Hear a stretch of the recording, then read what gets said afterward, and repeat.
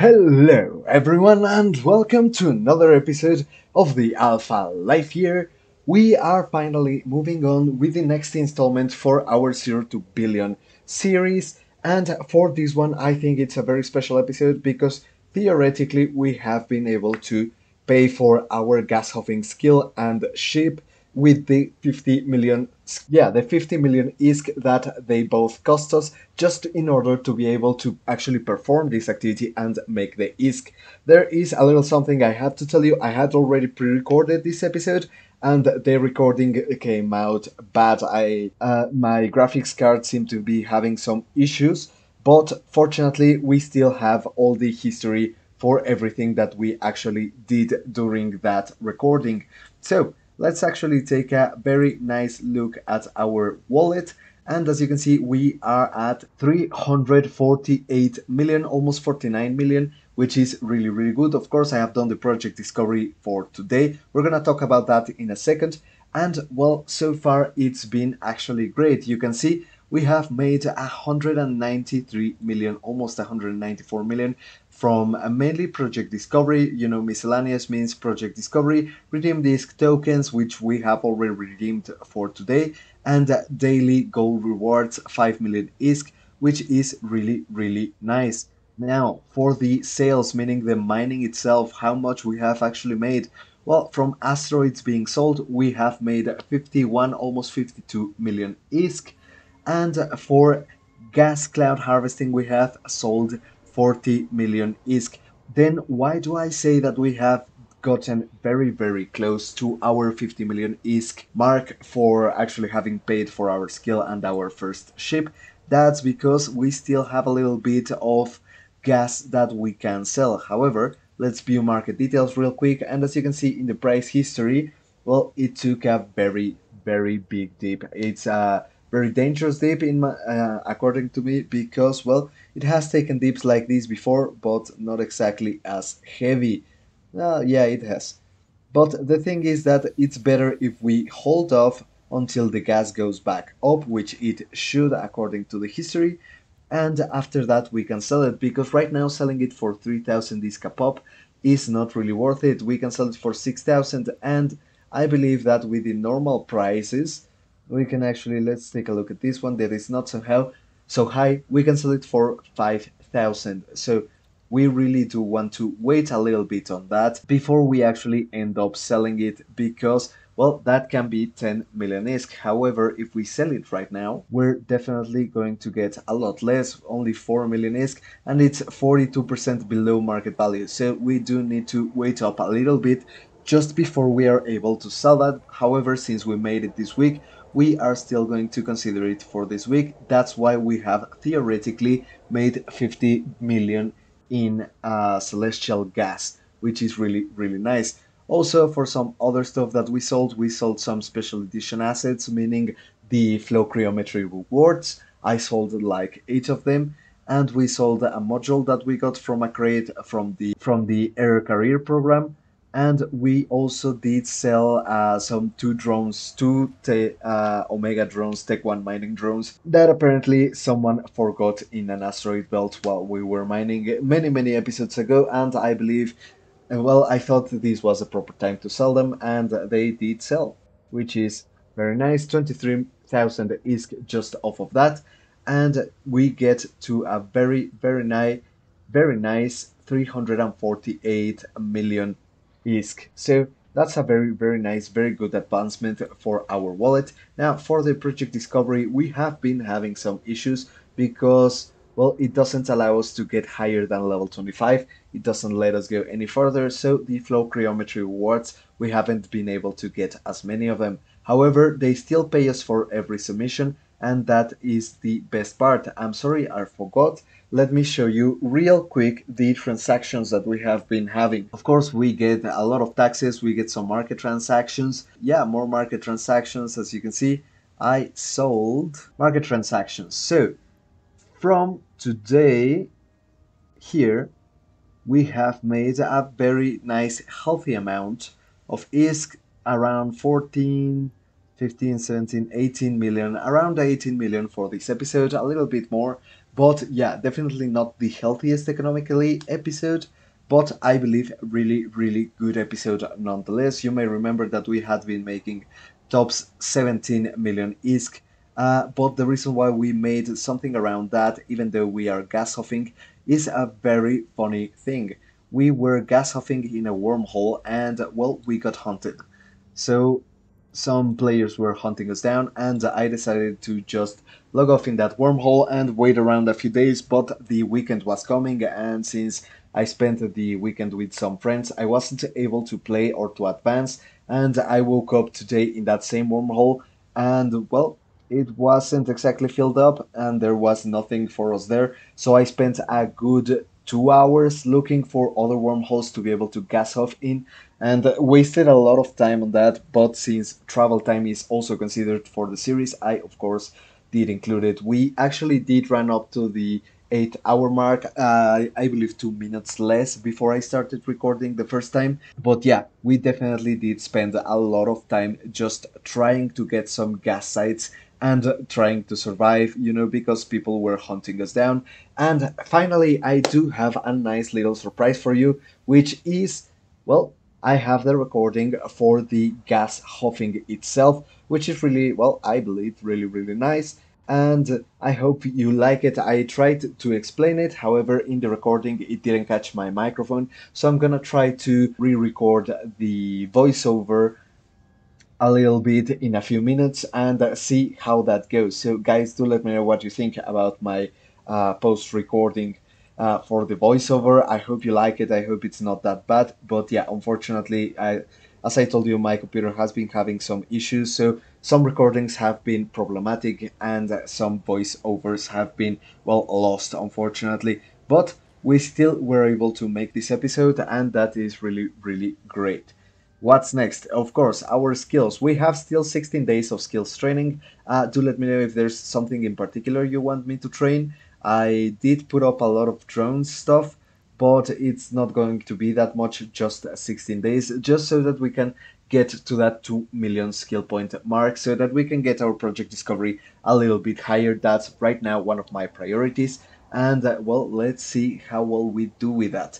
For the sales, I already showed you, we were, I believe, at 3,300 million ISK. Well, yeah, 330 million ISK mark, and now we are at the 348, which is really, really nice. So let's get out there and actually take a good look into that part of the recording so that you guys can tell me what do you think about it and if you learned something from the way I gas off and if there's something I could do differently. I have been told that I should actually go around the gas cloud and stuff like that, but I have seen that actually staying still aligned to my warp out, to my safe, is a little bit faster and you will actually see someone hunting us down and the reason why we have a very nice and very particular piece of equipment on our ship, which is this one. This warp core stabilizer just saved our lives a few days before, and as you can see, for the nice low price of 20,000 ISK, it can save you a 12,000, a 12 million ISK ship with some gas, even a 24 million ISK ship. So yeah, definitely definitely do fidget if you're going to dangerous parts of space. So let's move on to that segment and we'll get back to you guys. So for this part of the recording, uh, we're going to be doing a little bit of voiceover on top of it just because, well, we have been having, as I told you, some technical issues, but as you can see here, we are in our HiSec system actually hunting currently for a wormhole that's worth getting into and so far has been so good. We didn't have to go that far from our base system and we are just trying to get along some good good place where we can start gas huffing. Of course, we are just going to scan this down, try to find a wormhole and actually get to it. And for the certain parts, I'm actually going to speed up the recording uh, so that we can get to the commentary when the time comes.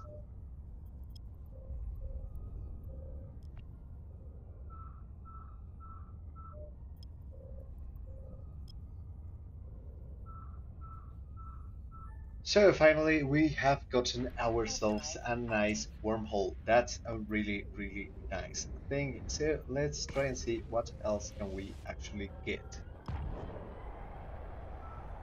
So for some very important information here, you can see it says that it leads to unknown parts of space, our nice little wormhole. This is going to be really, really important. That's exactly the kind of wormhole we want to get into. Some of them lead to nullsec or to lowsec or even to highsec to another part of highsec. So you actually want to avoid those. Uh, if it says unknown or dangerous unknown, uh, it's or deadly even unknown, it, those wormholes are actually the kind of wormholes that we are very much going to be looking for and for this one we are absolutely going in.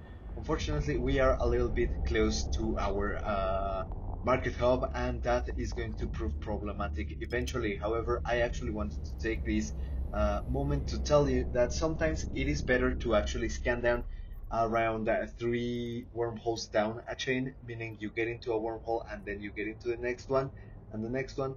However, for this one, of course, the very important you always have to save your home wormhole where you came into the wormhole i always do this exactly when i get into a wormhole and then i like warping out into the sun and then getting ready to just put up a save. However this is very incredibly important. It can save you a little bit of time uh, but it can also save your ship.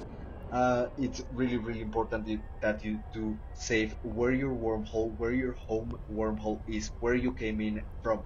For example if you like me like to stay out in the wormholes for a little bit longer periods of time uh, maybe log off inside the wormholes I really really absolutely do recommend that you save the entrance wormhole because you might actually leave you know, log off to go to the restroom or something like that and didn't get back your probes, uh, you can still get out. You just warp to zero of that wormhole. You already know where it is. You warp to zero of that saved uh, space, and you just go back home, and that's it. So for now, we are actually going to be scanning down some sites, and yeah, let's get on with that and see what can we get and if this wormhole is actually worth staying.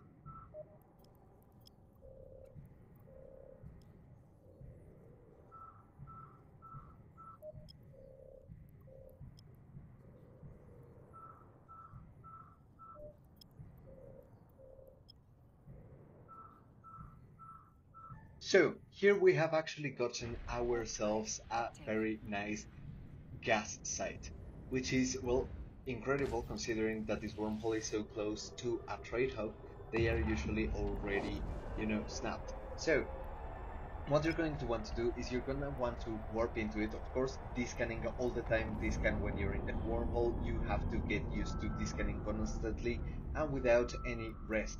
So we're going to actually warp into the site while still descanning like madmen and we are going to continue trying to get some of the other cosmic signatures. Of course, now that we are on site, we see the first thing we need to see is that there are no rats. We go into the mining tab and we select the cloud that we are actually going to be gas huffing from. We lock it down and we start our gas huffers. That's why we use this micro warp drive, which is a really, really great help and I really do appreciate it quite a lot. However, we still need to be vigilant because the rats may just spawn. This is a moment, well, when I arrive to the site, is a moment when I start the timer that past the 15 minute mark, rats are going to spawn in. However, we are always trying to stay safe, trying to stay awake, awake, but for those 15 minutes, you can guarantee that you're a little bit safer uh, and that is really really important. We are gonna try to go back to the general tab and stay on that general tab so that we can see if anybody joins us in our local space in our site. Well we are going to want to see them as soon as possible. And meanwhile I'm just going to continue descanning like a madman and continuing scanning down some sites to see if we get another gas site that we could probably or hopefully take advantage of.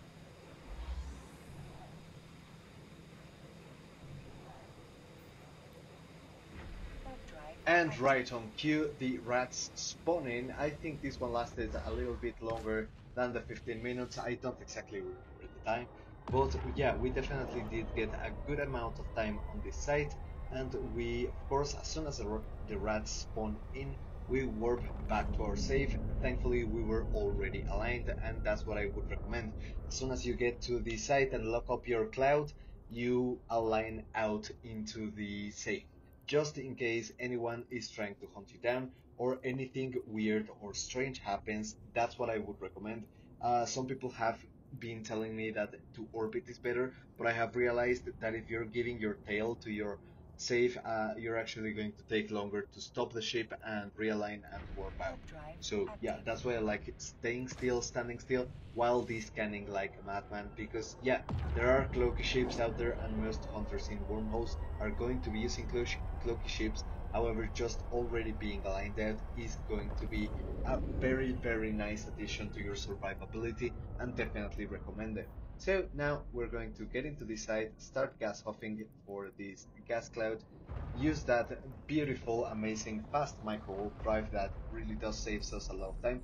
And yes, we do start up another timer. Yes, we have to, uh, because this is another site. So we start up our other timer, and once again, once we are at zero of the cloud, we align out to our save and stop the ship as soon as possible.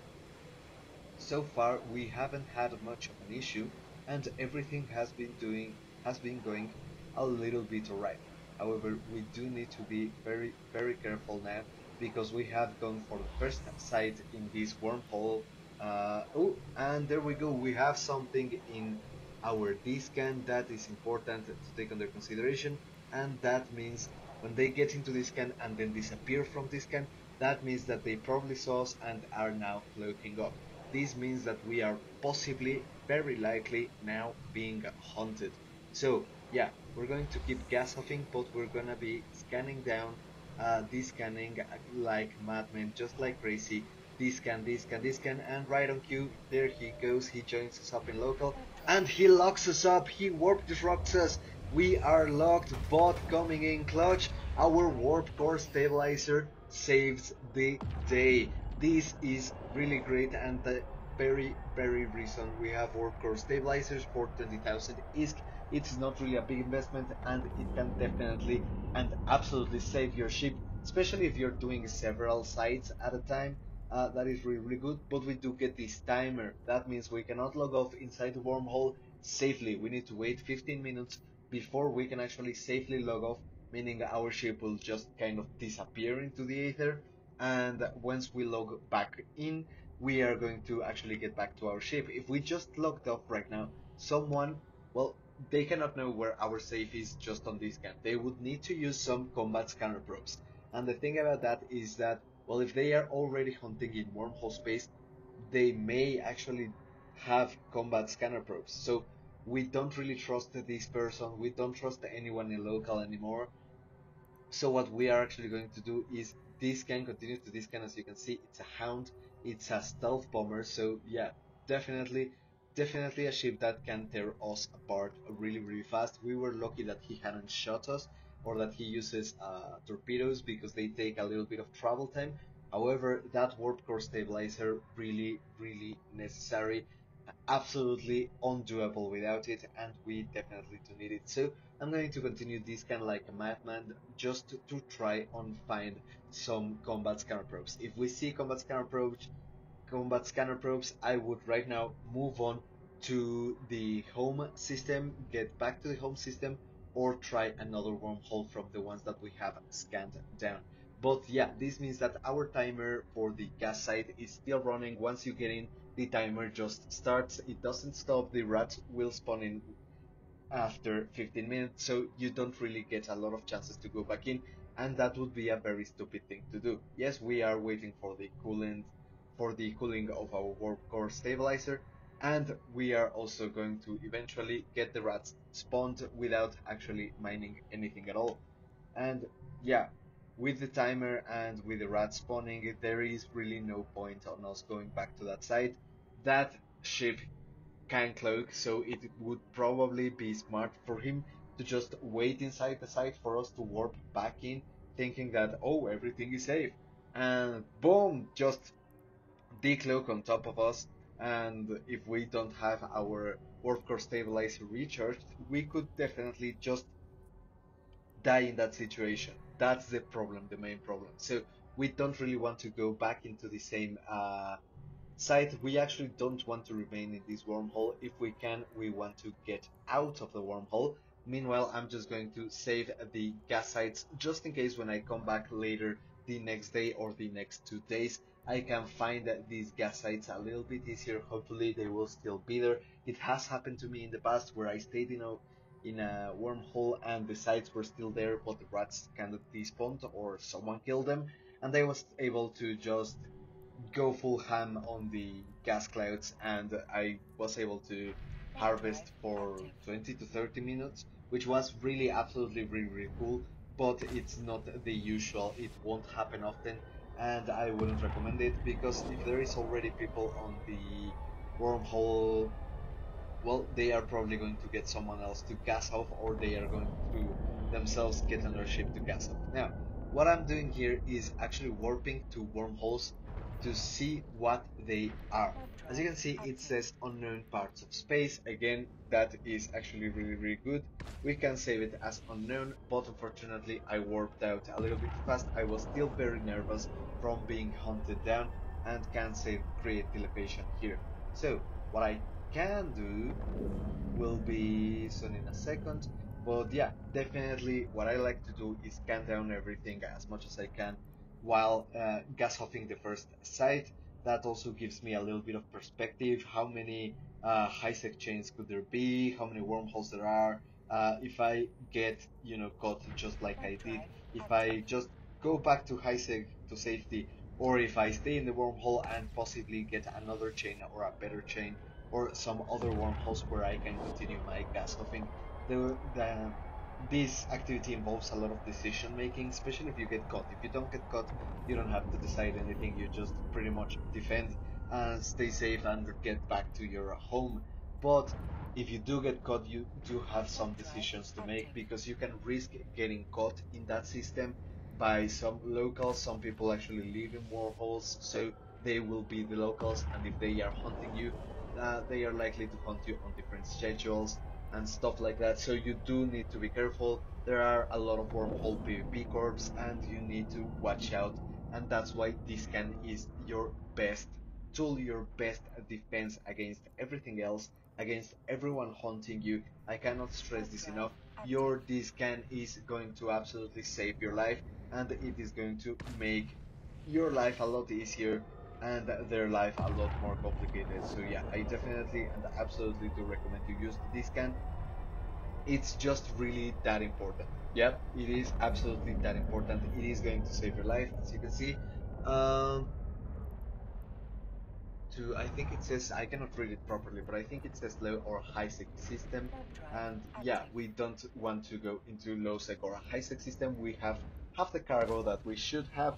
So I am actually going to stay in this wormhole, wait for that 15 minute timer to run out before logging off, and then log off safely. If you wait for the timer to log out, again, no one's gonna be able to get you, not even with combat scanner probes. But if you do not, they will be able to hunt you down and they will bring you down. Uh, hunters do that, hunters are really patient people, so you need to take that under account and do not let yourself be vulnerable. Again, just like in low-sec or in null-sec. We use the dscan a lot for uh, our low-sec belt ratting and stuff like that. We need to use it even more in wormhole space because we do not have a local, unlike in low-sec and null-sec, where that uh, local chat can actually tell us if there's anyone in system. In the wormholes, it doesn't apply. Oh, ooh, someone brought some reinforcements. So yeah, that can be a problem very much of a problem or it could also not be. That's an interdictor so that means he can put up some bubbles that can catch us mid warp so we just need to be really really careful. As you saw our timer is around half and yeah we're just gonna wait for it to run out and log off safely here in the system. So now that we are back at the station as you can see well that was definitely a hairy situation and well we do not have to be just easy prey for anyone to grab. We need to be able to defend ourselves and remember that this gun is absolutely going to save your life. but also that warp core stabilizer is going to do wonders for you. It's an absolute must. I don't go out without it to wormholes. And yes, you could get something else down there, but if you're already locked, which is the thing with this one actually, I wanted to show you real quick just in a simulation, if we take this off and we put in some inertial stabilizers Tech 2, we still are not able to get under the 2 second uh, align time, which would be the instant lock time. However, we could also very much get some low friction nozzle joints. We could also get these ones and we still not under the 3 seconds. Well, we could maybe get a Tech 2 version of this, only barely under the three seconds and honestly i believe in the three seconds that it takes us to warp out i think we are definitely definitely going to get caught and there is no real point on having all of these extra costs. As you can see it just increases the cost so very very much. So I would definitely not suggest this at all. And without the inertial stabilizer we still over the 3 second mark. So yeah let's exit that simulation and simulate again so that you can see the base warp time for our ship which would be 5 seconds. Yes we do take 2 seconds off the top. However just being able to warp out that is just great. As you saw we were caught we were already locked and we were warp disrupted and we were just able to still warp out of there. Of course the warp core stabilizer has a reload time uh, I do not know if there's any variance between them or if there's any difference or what happens with them. However, it's really, really, really worth it. I believe absolutely worth it and absolutely necessary. So with one of these, you're gonna be very difficult to catch. You're gonna, well, they are going to have to have a lot of warp scramblers and disruptors on top of you. So for the usual lone hunter, you should have absolutely no problem as you saw just before. So, of course, do remember that in the description below will be some very nice links so that you don't have the problems with the skill training that I have been having. You will have a free 1 million skill point referral link and a few more extra useful links. Also, my Patreon where I do post not a lot to be honest, but some polls in order to decide what to do with the content next and stuff like that. Do check it out. Of course, it's absolutely free uh, you can still buy me a beer in the Patreon, but the rest of the stuff, which there isn't a lot of stuff, I am trying to learn uh, to make a schedule for that to post a little bit more. But I have been a little bit uh, loaded with the, you know, with my normal job and with the videos. It's been a little bit hard. This month is a little bit complicated for me. However, I have been able to deliver this episode, and hopefully for next week, we will also deliver on time. So, guys, Thank you also very much for watching. Remember, stay safe out there, stay safe in wormhole space. It's a free for all. Do remember that. So, thank you also very much for watching, and I will see you all in the next one.